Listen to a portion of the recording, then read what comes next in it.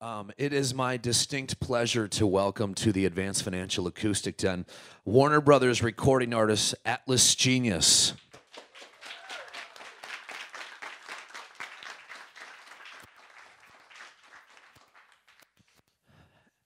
Hello. How you doing? I don't know if that's a poor Australian accent or what accent it actually is. I thought that we were back in Australia for a moment.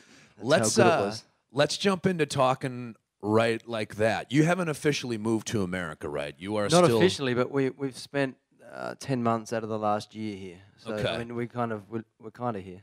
Okay, let's jump back to Australia. How easy it to go over to like say to New Zealand? It's very easy, but uh, I've never been to New Zealand. Never been? No. Okay. Do you guys cliff dive over there in Australia at all? they Uh, got some I amazing regularly. cliffs. Yeah. Base jumping. Yeah. All that kind of stuff. Like how how high up are we talking? Uh, no, I've never done it.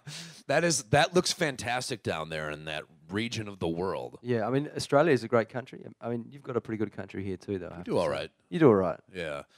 What are we talking? 22 hour flight to get from where you're at to come all the way to Uh, say I what? mean, Los Angeles? From here, yeah. I mean, from Los Angeles about 15 hours, but I mean, you know, you've got to fly to Los Angeles from. Is that here. where your crew's basing out of right now, LA?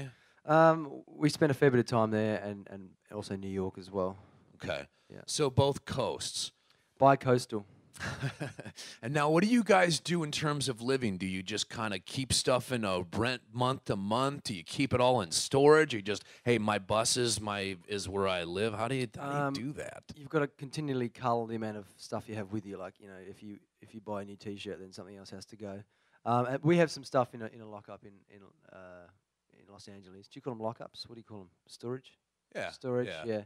Uh, so we have we have one of those in, in Los Angeles because uh, we have a bit too much gear. But um, yeah, I mean, we don't have a house anywhere in particular. Okay. Now, Keith, does Atlas Genius start with you?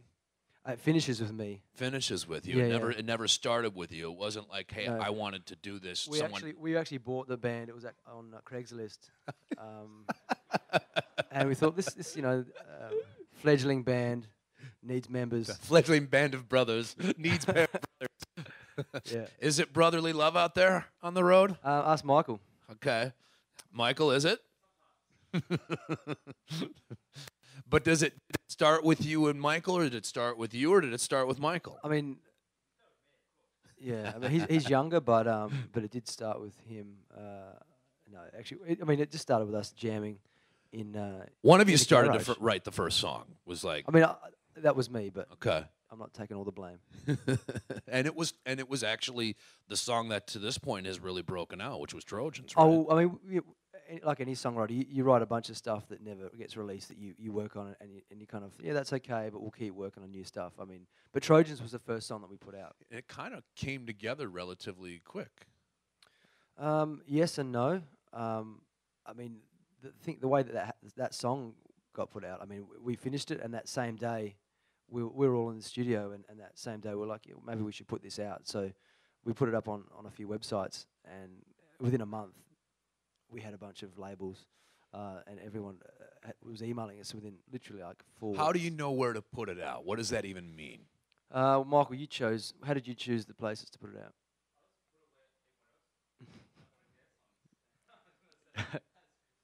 Things like SoundCloud, um, iTunes, that sort of thing. Yeah. Set up your own account. Yeah. I mean, it was do it yourself. I mean, that's the great thing about the era that we live in. I mean, you can do that for about 50 bucks. You can have your song on a few different websites and it's out there.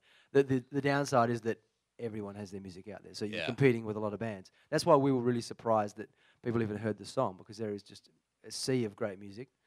Um, You're actually one of the first musicians I've heard talk about that. We think about how music started in the 40s and 50s. You go from the 50s to the 60s to 70s and the different bands that have spanned the genres. Here we're sitting in 2013. There is more competition in the music business today than ever before. Yeah. And it's not just the delivery mechanism, it's just the sheer amount of product that's Well, out exactly, there. and, and it's so easy for people to record, which is great. Yeah. Um, but I mean, now you've got kids with GarageBand. Um, three seconds after buying their laptop, they're putting out um, a song. You know, so there's a lot of there's a lot of music out there, um, for better or worse.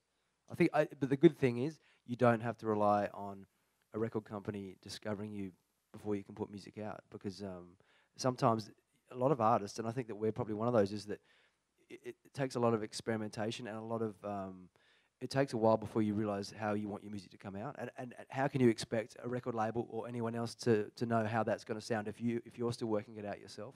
So um, it's it's a good time, I think, for bands. It is, but also at the same time, like somewhere in Dayton, Ohio, there's some uh, hipster nerd who just made something that four other people like, and people are already calling it brilliant. Yeah, You know, yeah, there is that. there's also that out there too. I got a chance to uh, hear you guys for the first time about a year or so ago, and it was with Trojans. But over the course of time, as you guys released the EP and then eventually got to your first debut, you wrote a track called "Symptoms," which came across on this uh, this first track. And Yeah. uh, we asked you guys if you would be so uh, kind as to come down here and play for us today. And that's one of the tunes you're going to kick for us today. Want to kick that? Darren and I are going to play that for you.